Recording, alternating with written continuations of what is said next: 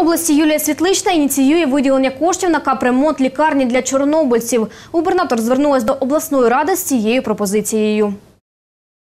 Приміщення обласного диспансеру радіаційного захисту населення давно потребують ремонту. Запропонували обласній раді виділити з обласного бюджету кошти, що необхідні для проведення робіт, і зробити це оперативно на найближчій сесії наступного тижня, щоб розпочати роботи вже найближчим часом. Голова Харківської облдержадміністрації Юлія Світлична.